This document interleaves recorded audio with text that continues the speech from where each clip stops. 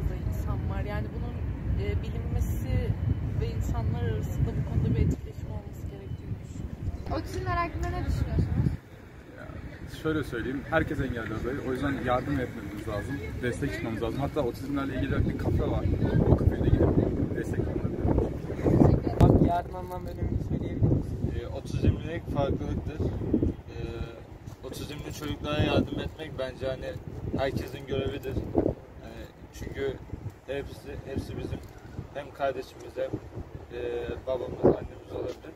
O yüzden otizmli de e, destekliyoruz. Otizmler hakkında ne düşünüyorsun?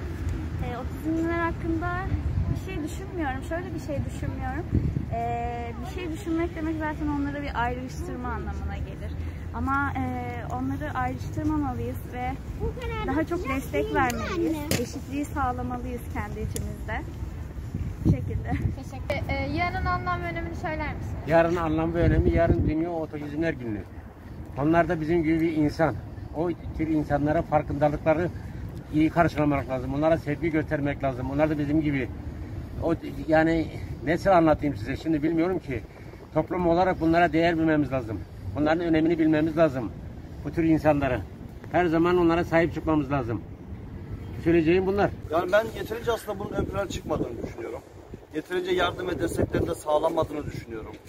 Aslında yeterince duyurulmadığını da düşünüyorum. Yani aslında bu bir insanlık olayıdır. Bence yeterince buna da bir önem ve e, ahenk kazandırırsa memnun olurum. Size de teşekkür ederim. bu arada. Teşekkür ederiz abi. Ne düşünüyorum? Otizmcilerin destek görülmesini istiyorum. Aslında devlet tarafında destek görülmeleri en çok daha da mantıklı. Ama maalesef devletimiz destek vermiyor. Ee, onları annelerine, babalarına e, sağlık diliyorum önce ki onlara da yardımcı olabilsinler. Teşekkür E, Otizm Farkındalık Günü. E, hepimiz insan olarak engelli adayız. E, bu yüzden bu insanlara saygı göstermeliyiz, duyarlı olmalıyız. Bu şekilde. Bugünün anlam ve önemini biliyor musunuz? Hayır. Abi yarının anlam ve önemini biliyor musun? Yarın haftanın cuma günüdür. Bu yarının anlam ve önemini biliyor musun? Hayır. Abi yarının anlam ve önemini biliyor musun? Evet cevabını da söyle. Yarının anlam ve önemini biliyor musun? Yok hayır bilmiyorum. Yarının anlam ve önemini biliyor musun abi? Vallahi henüz bilmiyorum.